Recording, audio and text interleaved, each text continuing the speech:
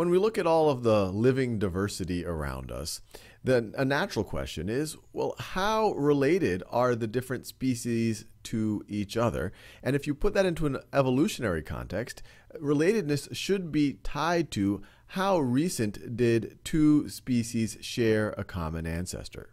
And what we're going to try to do in this video is construct a tree for showing how different species evolved from common ancestors, and we're going to do it based on some of these observable traits that we see.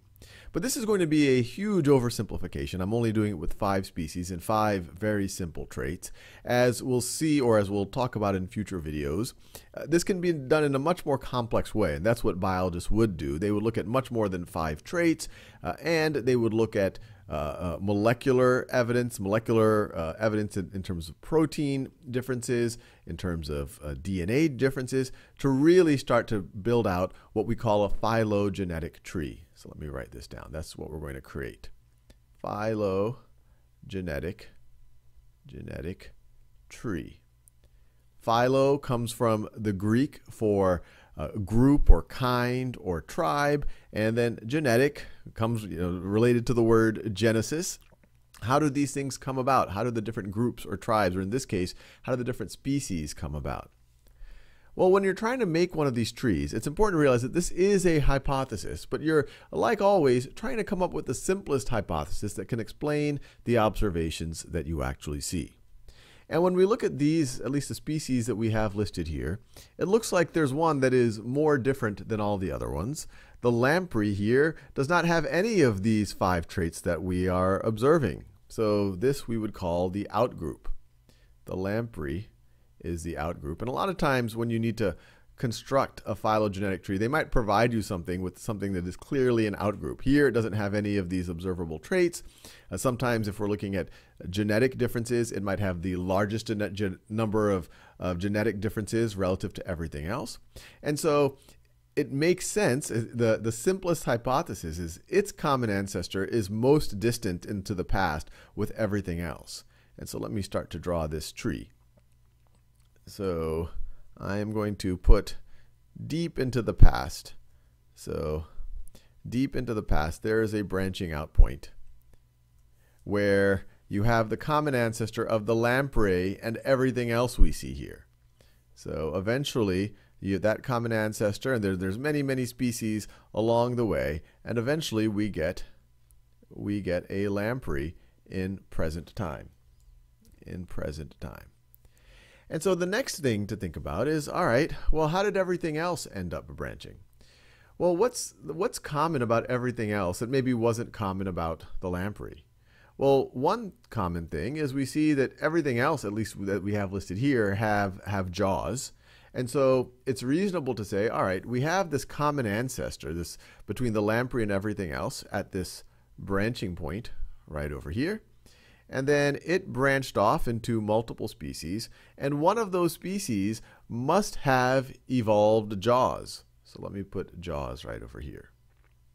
So jaws right over there. And jaws, that's called jaws are considered a derived trait. This ancestral species at this root did not have jaws, we're assuming, but at some point they evolved and they stuck around because they proved to be favorable in certain environments. Or it could have even been things like genetic drift. Who knows? But I'm guessing that it was favorable in certain environments.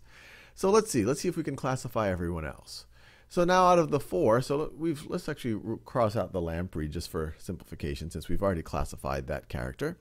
Now of everyone else, we've already thought about everyone's got jaws. So now let's go to the next most common trait. So, and actually let me cross out the jaws too, just for keep things simple. So I can do that a little bit cleaner.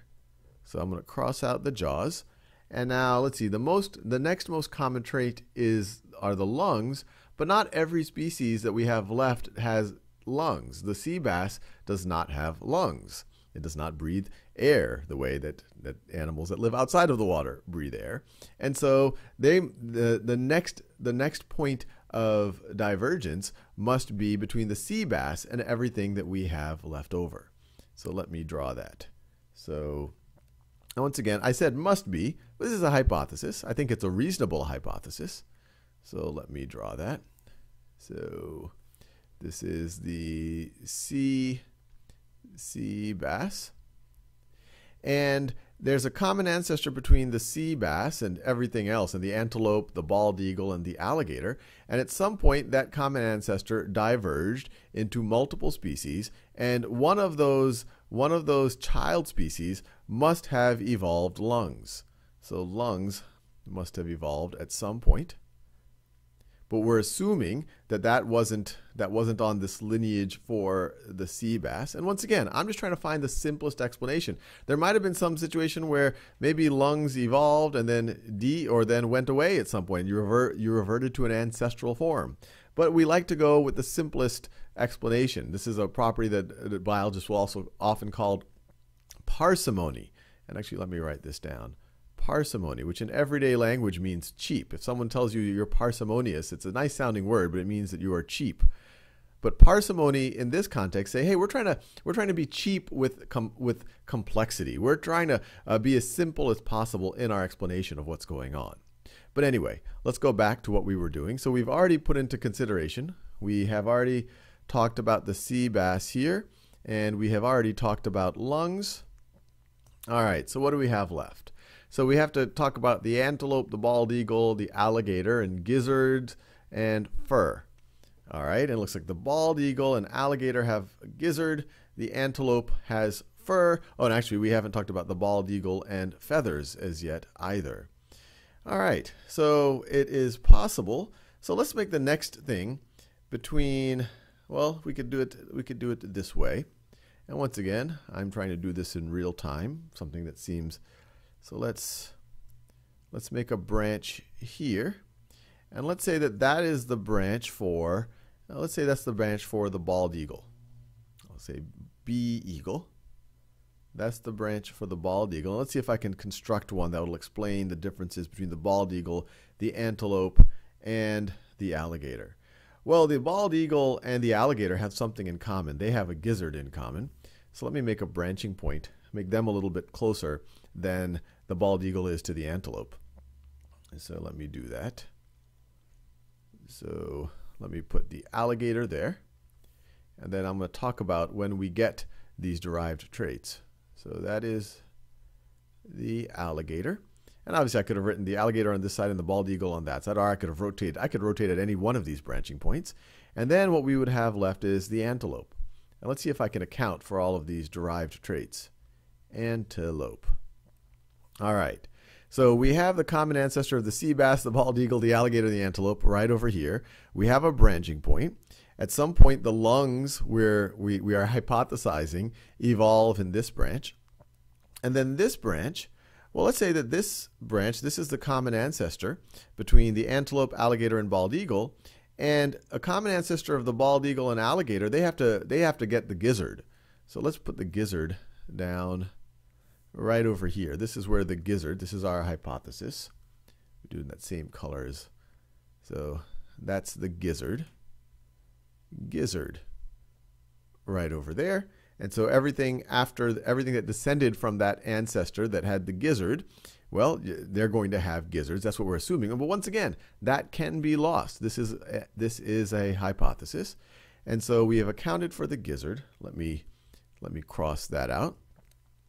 So we have accounted for the gizzard. And so let's see, we have to account for the feathers, and the bald eagle is the only one that has feathers. So let me put that here.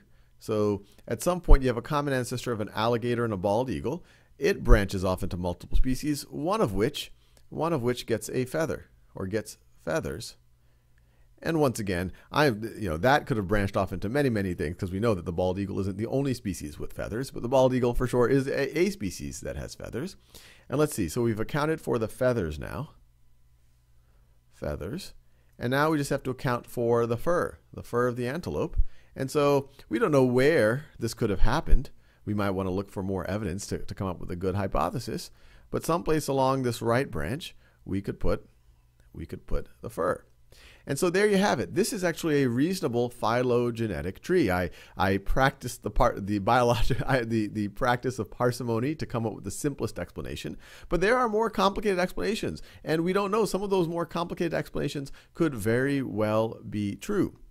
But from this, we have a very quick and easy graphical representation of how related different species could be and where they share common ancestors.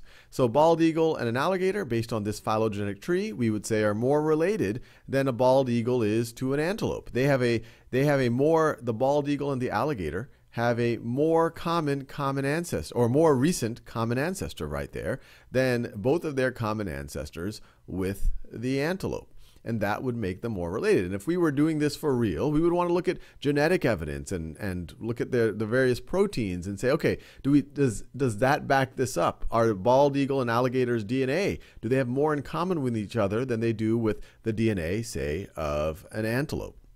And many, uh, for especially once you get complex, there could be many different explanations, and we just want to get more and more and more evidence to keep refining our phylogenetic trees.